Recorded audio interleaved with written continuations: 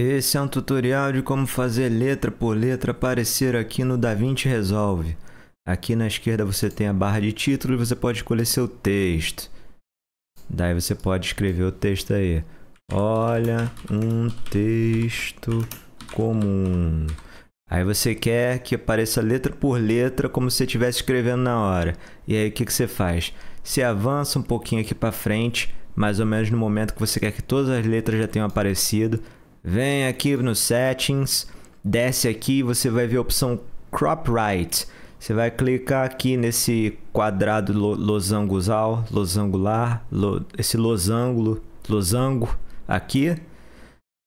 E aí você, aqui é o momento em que todas as letras vão estar já completamente já aparecidas. Então você volta aqui para o começo voltando um pouquinho aqui na linha do tempo, o começo de onde você quer que comece a aparecer as letras, você vem aqui, ó, crop right. Aí você vai colocar tudo assim. E daí quando você der play,